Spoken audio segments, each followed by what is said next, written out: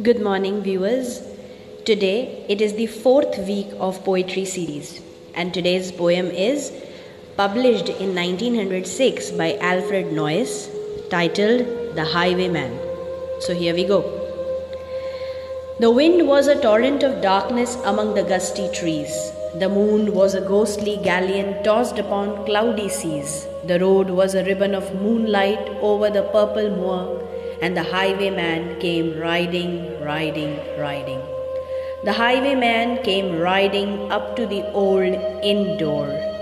He had a French cocked hat on his forehead, a bunch of lace at his chin, a coat of the claret velvet, and breeches of brown doe skin.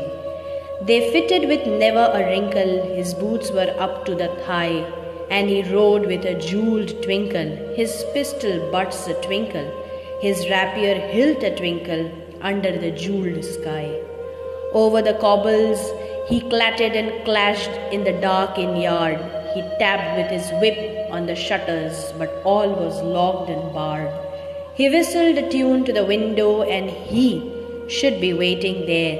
But the law, landlord's black eyed daughter, Bess, the landlord's daughter, plaiting a dark red love knot into her long black hair and dark in the dark old inn yard a stable wicket creaked. Where Tim the ostler listened, his face was white and peaked. His eyes were hollows of madness, his hair like mouldy hay. But he loved the landlord's daughter, the landlord's red lipped daughter. Dumb as a dog, he listened, and he heard the robbers say, One kiss, my bonny sweetheart, I am after a prize tonight but I shall be back with a yellow gold before the morning light. Yet, if they press me sharply and harry me through the day, then look for me by moonlight, watch for me by moonlight, I'll come to thee by moonlight, though hell should bar the way. He rose upright in the stirrups, he scarce could reach her hand, but she loosened her hair in the casement, his face burned like a brand as the black cascade of perfume came tumbling over his breast, and he kissed its waves in the moonlight. Oh, sweet black waves in the moonlight! Then he tugged at his rein in the moonlight and galloped away to the west. He did not come in the dawning, he did not come at noon, and out of the tawny sunset, before the sunrise of moon. When the road was a gypsy's ribbon, looping the purple moor, a red coat troop came marching Marching, marching, King George's men came marching up to the old inn door. They said no word to the landlord, they drank his ale instead, but they gagged his daughter and bound her to the foot of her narrow bed. Two of them knelt at her casement with muskets at their side. There was a death at every window and hell at one dark window, for Bess could see through her casement the road that he would ride. They had tied her up to attention with many a sniggering jest. They had bound a musket beside her with a muzzle beneath her breast. Now keep good watch, and they kissed her. She heard the doomed man say, Look for me by moonlight, watch for me by moonlight, I'll come to thee by moonlight, though hell should bar the way. She twisted her hands behind her, but all the knots held good. She writhed her hands till her fingers were wet with sweat or blood. They stretched and strained in the darkness, and the hours crawled by like years. Till now, on the stroke of midnight, cold on the stroke of midnight, the tip of one finger touched it. The trigger at least was hers.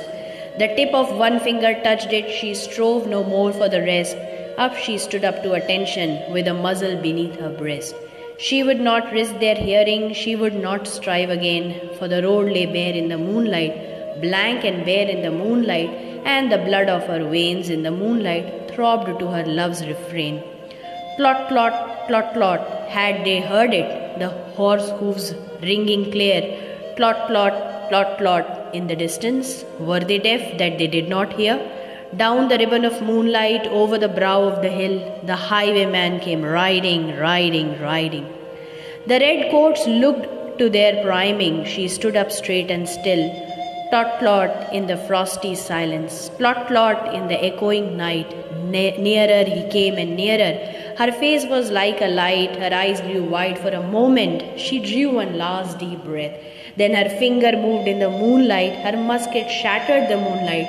shattered her breast in the moonlight, and warned him with her death. He turned. He spurred to the west. He did not know who stood, bowed with her head over the musket, drenched with her own blood. Not till the dawn he heard it, and his face grew grey to hear how Bess the landlord's daughter, the landlord's black eyed daughter, had watched for her love in the moonlight and died in the darkness there. Back he spurred like a madman, shrieking a curse to the sky, with a white road smoking behind him and his rapier brandished high. Blood red were his spurs in the golden noon, wine red was his velvet coat. When they shot him down on the highway, down like a dog on the highway, and he lay in his blood on the highway with a bunch of lace at his throat.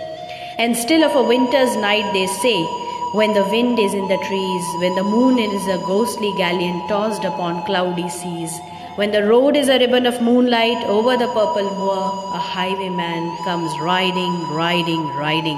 A highwayman comes riding up to the old inn door. Over the cobbles he clatters and clangs in the dark darkened yard. He taps with his whip on the shutters, but all is locked and barred. He whistles a tune to the window, and who should be waiting there but the landlord's black eyed daughter, Bess, the landlord's daughter, plaiting a dark red love knot into her long black hair. So, this is the beautiful poem of Alfred Noyes, The Highwayman. I hope all of you liked this.